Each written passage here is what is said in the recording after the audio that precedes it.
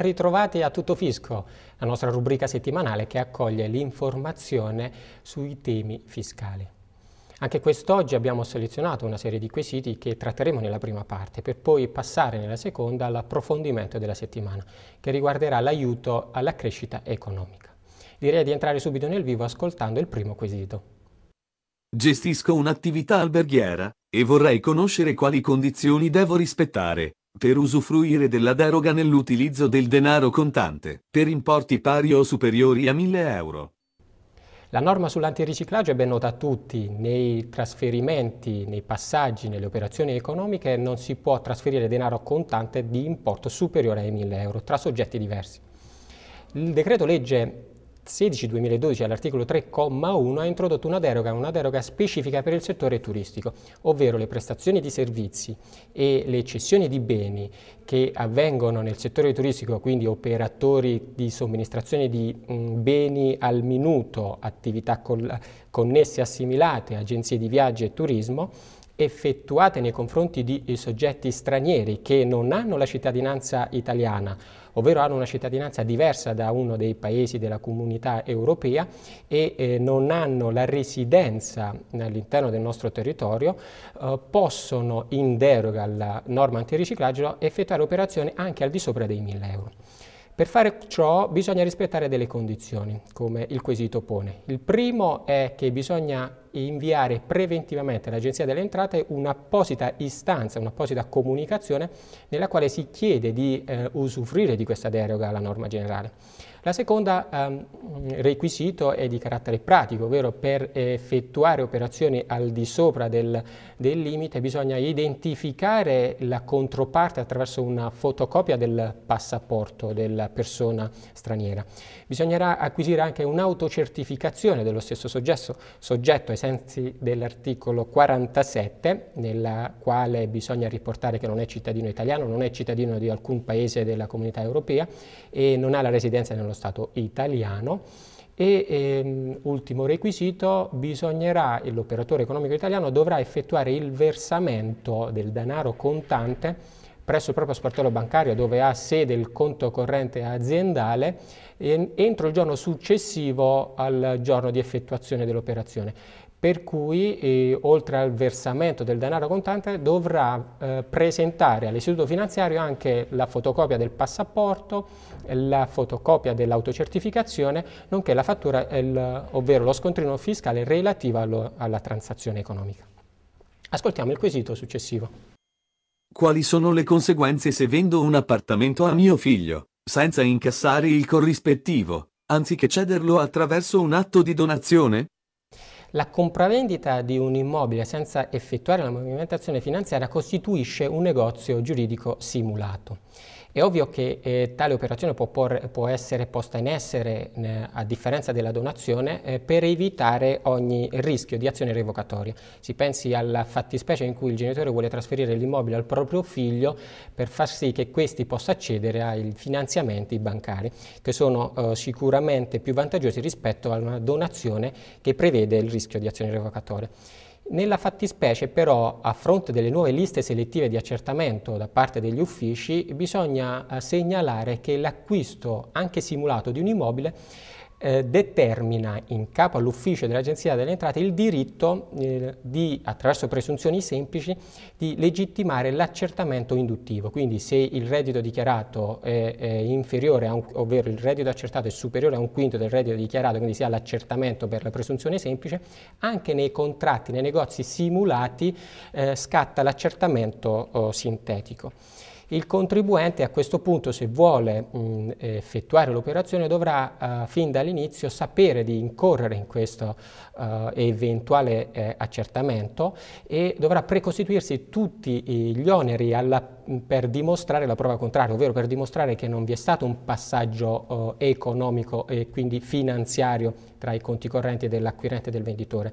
Quindi dovrà uh, uh, rispondere all'eventuale accertamento procurando, documentando l'operazione e, e, dimostrando che è stata una simulazione, la compravendita tra il padre, il figlio o il, il genero, uh, per meri scopi eh, finanziari mh, mm, e soprattutto dovrà dimostrare attraverso i conti correnti che non è avvenuta nessuna transazione finanziaria, quindi non c'è passaggio monetario e quindi non vi è reddito uh, non dichiarato a fronte di tale movimentazione finanziaria. Quindi eh, le operazioni di cessione simulate che prima erano eh, più frequenti, ad oggi con le liste selettive di accertamento per gli incrementi patrimoniali diventano eh, un rischio eh, maggiore. Ascoltiamo il quesito successivo. Dopo le recenti modifiche normative, come cambia il quadro delle ipoteche esattoriali in rapporto all'entità del debito pendente? Parliamo di ipoteche esattoriali, cioè le ipoteche che possono essere proposte eh, dall'ufficio dell'agente della riscossione, quindi Equitalia per intenderci, per eh, crediti vantati nei confronti di contribuenti e eh, decorsi 60 giorni dalla notifica della cartella di pagamento, ovvero decorsi 90 giorni dalla notifica dell'avviso di accertamento e l'iscrizione può essere effettuata per un importo pari al doppio del credito vantato. Ehm, l'importo, la soglia oltre la quale l'ufficio ha il potere di proporre l'iscrizione dell'ipoteca è variata lungo oh, il, ne, ne, negli, ultimi, negli, ultimi, anni. Infatti partiamo dalla direttiva di Equitalia del 5 luglio 2000 e, e 2007 che prevede prevedeva una soglia bassissima eh, pari a 500 euro, quindi per i crediti vantati da um, Equitalia, um, vantati dal, eh, nella, nella, riscossione da parte dell'ufficio di Equitalia, si poteva proporre l'iscrizione di ipoteca già per crediti superiori ai 500 euro. Tale limite è stato uh, uh, innalzato fino agli 8.000 euro con il decreto legge 40 2010. Il decreto sulle, eh, sullo sviluppo, il decreto legge 70 2011, ha eh, inserito due grandi novità. La prima, e, direi e finalmente a favore del contribuente, è la preventiva comunicazione, ovvero l'ufficio dell'agente della riscossione può proporre l'iscrizione dell'ipoteca, ma deve preventivamente comunicare tale operazione al contribuente che attraverso la comunicazione dei corsi 30 giorni provvederà successivamente all'iscrizione. Tale preventiva comunicazione può essere ehm, sottoposta a eh, impugnazione da parte del contribuente dinanzi alle commissioni tributarie. E la seconda novità ha introdotto un limite, cioè per importi fino a 20.000 euro l'iscrizione non può, eh, anche se la soglia è di 8.000 euro, viene innalzata a 20.000 euro per coloro che hanno la prima casa, quindi l'iscrizione è riferita all'immobile prima casa, e, e quando, quando il credito è ancora contestabile o è contestato dinanzi alle commissioni tributarie. L'ultimo decreto legge, il 16 di 2012, il decreto sulle semplificazioni, ha innalzato definitivamente la soglia a 20.000 euro, quindi l'ufficio di Equitalia può uh, um, eh, iscrivere, proporre iscrizione ipoteca sugli immobili del contribuente sempre previa eh, comunicazione per importi eh, pari o superiori ai 20.000 euro. E eh, la seconda novità che ha introdotto il decreto sulle semplificazioni fiscali è che qualora il contribuente aderisca a una forma di dilazione e paghi la prima rata, allora non è, è più facoltà, non è più nel potere dell'ufficio dell'agente di riscossione proporre iscrizioni ipotecarie. Eh, tali norme si applicano per le eh, cartelle, per le riscossioni successive all'entrata in vigore del decreto legge 16-2012, per cui restano valide le ipoteche iscritte per importi superiori agli 8.000 euro. Passiamo al quesito successivo. Le vincite derivanti dai tornei di poker, effettuati in territorio estero, vengono tassati in Italia? Assolutamente sì, anche i redditi derivanti, anche eh, le vincite derivanti dai tornei di poker effettuati fuori dal territorio dello Stato rientrano nel nostro modello unico e il testo unico all'articolo 67,1 lettera D li individua come redditi diversi, quindi dovranno essere dichiarati dal nostro contribuente in Italia anche se conseguiti all'estero. E ancor più l'articolo 69,1 definisce che tali importi devono essere dichiarati per intero, quindi non vi è alcuna possibilità di dedurre spese dalla somma uh, dalla vincita. E devono essere eh, inseriti in dichiarazione nel periodo in cui vengono percepiti se il contribuente dovesse essere tassato uh, all'estero sulle somme, sulle vincite ricevute dai tornei di poker, allora è possibile ricevere un credito di imposta, ma bisogna verificare i trattati sulla doppia uh, imposizione, sulla doppia tassazione tra l'Italia e il paese estero. Affrontiamo l'argomento di approfondimento della settimana, che è l'incentivo alla patrimonializzazione, alla capitalizzazione delle piccole e medie imprese.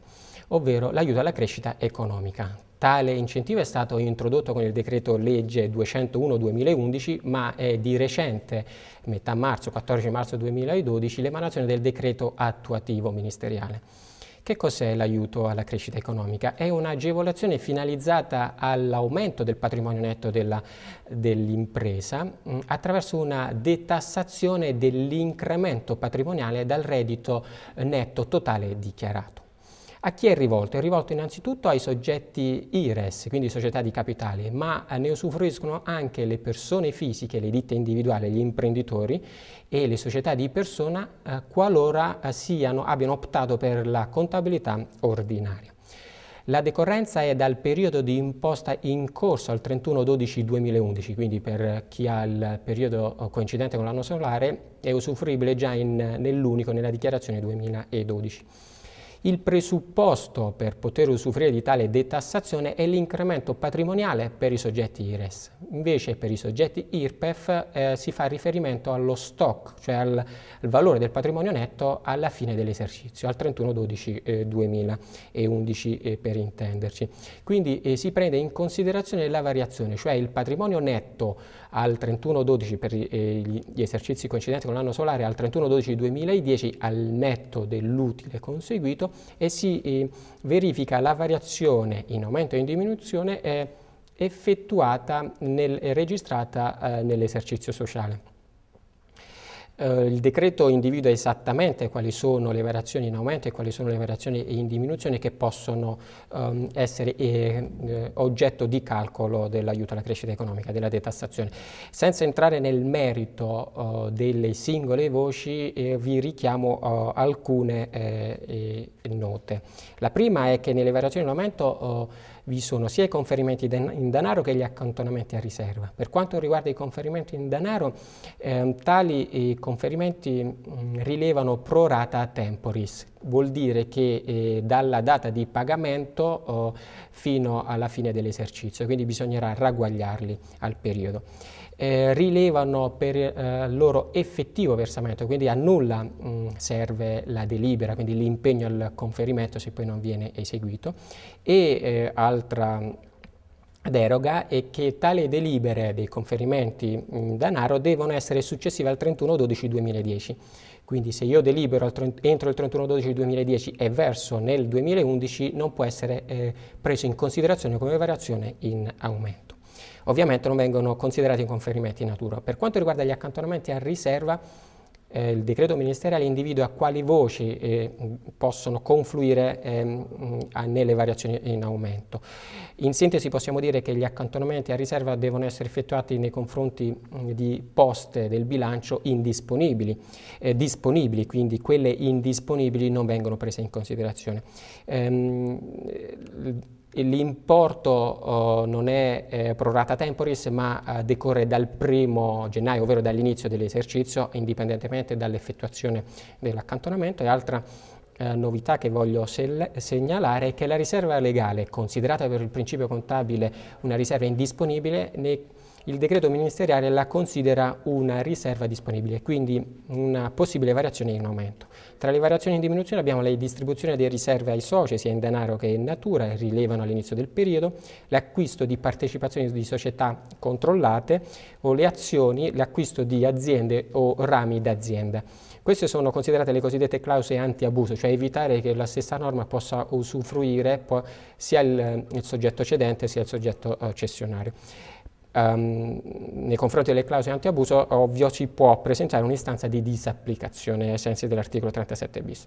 Quindi una volta ottenuto l'incremento, quindi la variazione del patrimonio netto, uh, si moltiplicherà per un fattore che nei primi tre anni di esercizio è pari al 3% e si individua quindi la quantità eh, l'importo detassato da che cosa? Dal reddito imponibile netto dichiarato, quindi va nel quadro RN, non è una uh, variazione in diminuzione, bensì è una, um, un valore che eh, viene riportato direttamente in diminuzione del reddito da tassare ed uh, questa detassazione è valida ai fini IRES e IRPEF più addizionali, ma non ha influenza per quanto riguarda l'IRAP. Concludo dicendo che la parte eccedente, eccedente la, eh, il valore da eh, diminuire sul reddito complessivo netto dichiarato può essere riportata negli anni successivi. Bene, anche per oggi è tutto, vi ringrazio per l'ascolto, da Pierluca Fontana un cordiale saluto.